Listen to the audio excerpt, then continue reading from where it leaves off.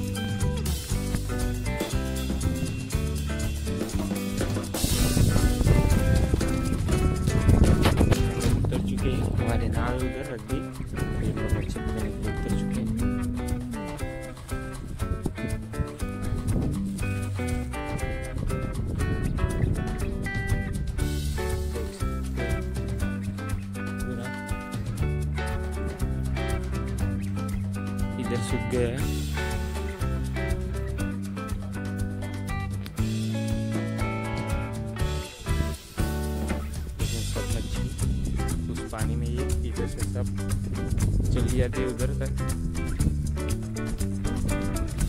इस साइड ये